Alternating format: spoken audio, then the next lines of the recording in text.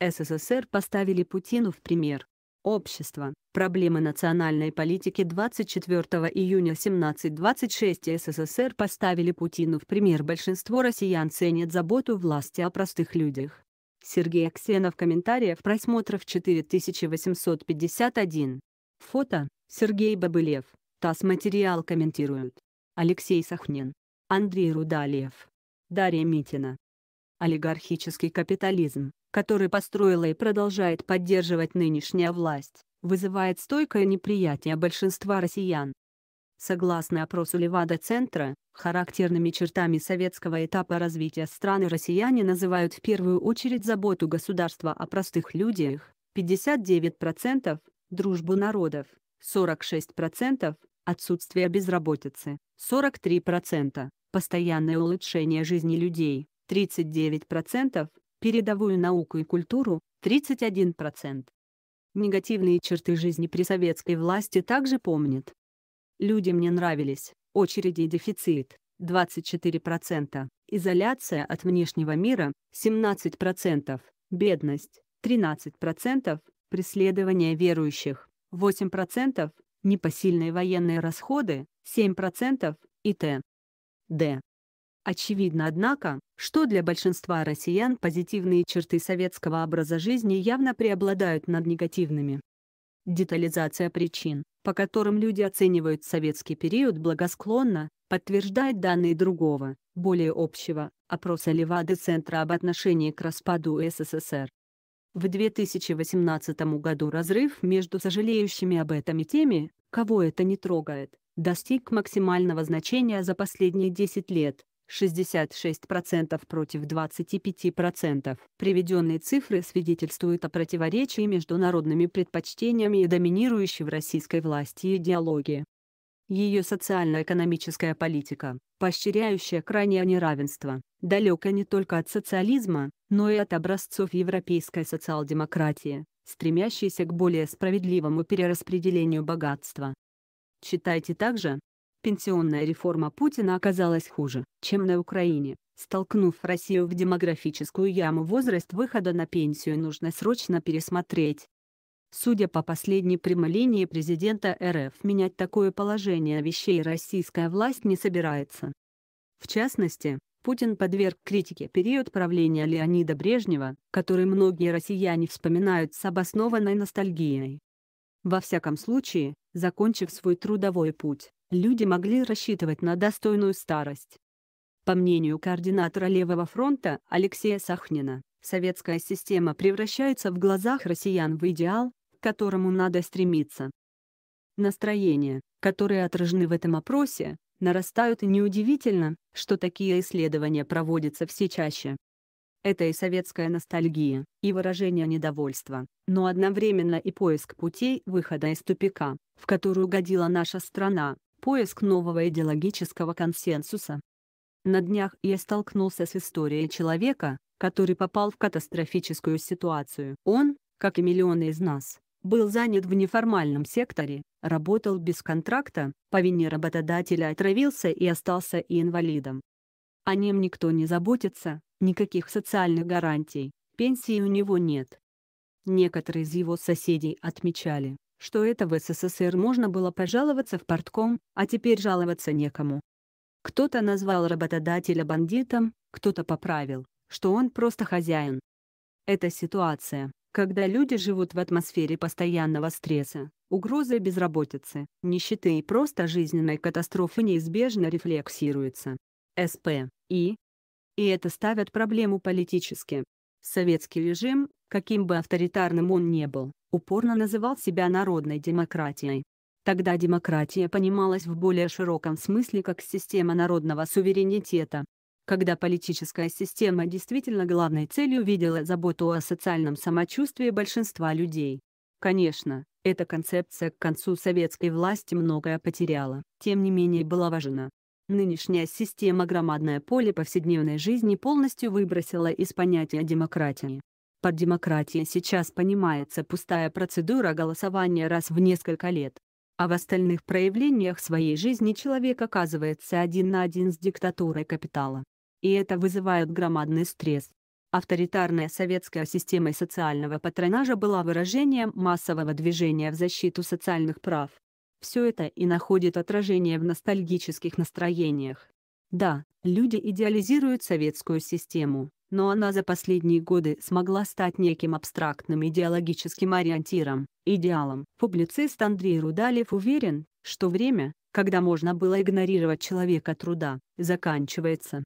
Все это так. СССР ориентировался на простого человека. Гегемон пролетариат тоже не пустые слова. Особенно хорошо это видно и понятно по контрасту с нашим временем, когда простой гражданин, человек труда задвинут на дальнюю периферию. Есть у него хоть какие-то лоббисты и выразители интересов во власти. Днем с огнем не сыщешь, даже в Госдуме они наперещет. В основном номенклатурщики, бюрократия, представители бизнес-кругов. Простой человек тут диковинка. Их выводят, как диковинных зверьков, чтобы показать публике, потешить. Помните, акцию по заигрыванию с Уралвагонзаводом, представитель которого Валерий Трапезников попал в Госдуму. Пиара было много. Вот, мол, от условного станка у нас тоже могут попасть во власть, социальные лифты действуют. Но все это, конечно же, имитация и компанейщина. Место простого человека сейчас глухая периферия, а сам он лишен и слова, и рычагов воздействия на происходящие в стране процессы. СП. В этом году это проявилось в полной мере. Показательный пример бесправности простого человека проведенная в прошлом году пенсионная реформа, которая еще аукнется обществу. Эта реформа насаждалась в предельно короткие сроки административно-командными методами, все возражения, все протесты были отметены, их попросту никто не брал в расчет. Каток реформы запустили, его продавили и в итоге у человека труда, по сути, украли пять лет жизни. Параллельно появились тенденции, которые превалировали в СССР уже его упадка. По регионам была запущена акция, когда законодательные собрания субъектов по разнарядке дружно голосовали за поддержку пенсионной реформы. Эдакие скованы одной цепью, круговой порукой. Якобы регионы сами просят, а власть лишь пошла навстречу пожеланиям трудящихся. СП – это общероссийская проблема, но есть региональные. Или другой пример. Уже на протяжении многих месяцев простые жители Архангельской области протестуют против строительства на станции 6 гигантского мусорного могильника для московских отходов. Чиновничья армия прошлась по России почище татаро-монгол газаппарат распухает, а порядка в стране не прибавляется. Простым жителям постоянно лгут, их прессуют. Все в банальной практике наперсточников. За проектом стоит крупный бизнес и разного уровня чиновничества наши современные гегемоны. Проект сулит им отменные барыши. Разве они от него отступятся? При этом голос простого человека сейчас не играет практически никакой роли в обществе. Это ведь не московская либеральная крикливая тусовка, регулярно шантажирующая власть а укорененные люди, им есть что терять и выступают они за свою жизнь и семьи. Вот два примера современной нашей дикости – игнорирование интересов и мнения простого народа, которого власть то ли боится, то ли не доверяет, то ли не берет в расчет и совершенно не понимает. В этой ситуации закономерно, что огромные людские массы страны будут жить с повернутой головой в прошлое и вспоминать о былых временах, когда общество все-таки могло воздействовать на власть и добиваться по-настоящему значимых вещей, а не только побед по делу журналиста Галынова, СП, при этом люди говорят про СССР разное. Не только хорошее. Никто не идеализирует Советский Союз, там параллельно шло другое мощное течение номенклатурная линия. Вначале она была маргинальной, но постепенно обретала силу, выходила на ведущие роли, стреножила общество и в итоге провела свою контрреволюцию и запустила распадные процессы. Наша бюрократия и бизнес-элита плоть от плоти той распадной советской бюрократии и партийных функционеров, и действуют они во многом тоже по их лекалам. Они до сих пор твердят мантры, с которыми крушили большую страну, проводили преступную приватизацию, для них любые средства хороши лишь бы не допустить возврата к советскому. Игнорирование человека труда как раз из этой серии.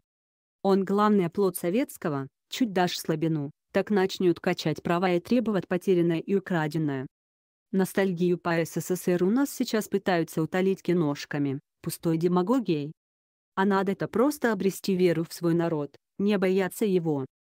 Не надо думать, что он тут же начнет выкидывать хищных буржуев и вороватых бюрократов в окна.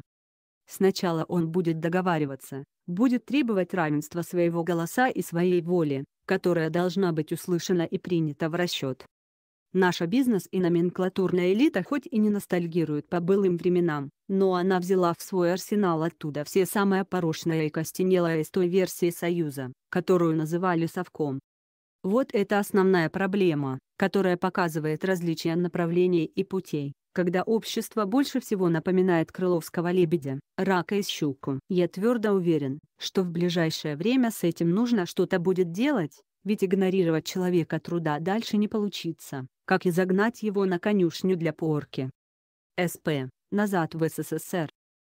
Никто ведь не требует моментального возврата к социализму, но государственное должно быть более гибким и отвечать запросам общества. Сейчас же оно не отвечает, о чем отлично свидетельствуют подобные опросы. Мы, к сожалению, наблюдаем лишь достаточно аутичные разговоры власти с собой, с новыми гегемонами и имитацию диалога с народом.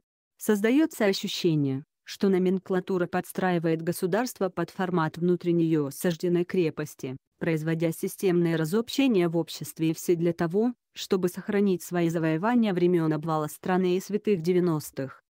В свою очередь депутат Госдумы РФ второго созыва Дарья Митина сетует на недостаточную силу гражданского общества, которая пока не способна принудить власть следовать чаяниям народа.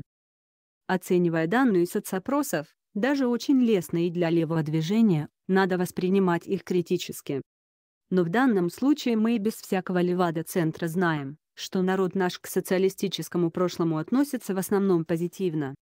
За исключением, может быть, некоторых сюжетов из советской истории, которые просто ввинчены пропагандой в мозги аудитории. Есть множество косвенных свидетельств этому. По всем голосованиям у нас самый популярный персонаж Сталин. Потом Ленин, потом уже Пушкин и Т. Д.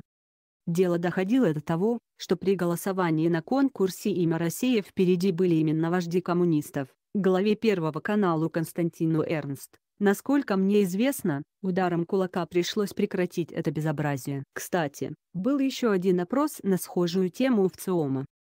Людей спрашивали, какое время в истории России им по сердцу. Все назвали 1970-е годы, брежневские времена. То есть люди, не впадая ни в какие измы, не рассуждая в политических терминах, на уровне личных ощущений, ассоциации делали свой выбор.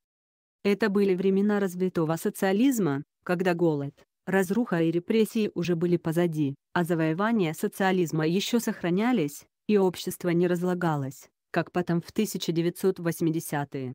Путин сделал вид, что пенсионной реформы не было президент в ходе прямой линии дал понять, что зрелые люди из «Единой России» все сделали правильно. СП. Раз так, то рано или поздно политические предпочтения большинства трансформируются в новую политическую реальность. К сожалению, это спорно. Сейчас, во время кампании в Мосгордуму, нам приходится много общаться с людьми. И надо сказать, каша в головах у людей просто адская. Какая-нибудь старушка может ругать Путина и Собянина за засилие платной медицины, но при этом отказывается голосовать за коммунистов, хотя при коммунистах медицина была бесплатная. Это все действия пропаганды. Как видим, пока у власти достаточно большой запас прочности, иначе они по-другому реагировали бы на общественное мнение. Мы же видим по прямой линии Путина, про пенсионную реформу вообще решили умолчать. Вопрос о сверхдоходах олигархов был не понят президентом. Он предпочел рассказать, что высокооплачиваемые топ-менеджеры нужны нашей экономике. На Западе такое немыслимо. Там действуют регуляторные механизмы гражданского общества. А у нас их нет. Частично они так и не сложились, а те, которые сложились, постепенно были разрушены, ликвидированы руками послушной Думы, состоявшей в основном из «Единой России». Поэтому Путин и позволяет себе такое, зная, что все пахают, пахают и на этом закончится. Новости внутренней политики – минус 40 миллионов. Население Пенсионная реформа подстегнет вымирание России. Власть. Путин допустил приход коммунистов к власти.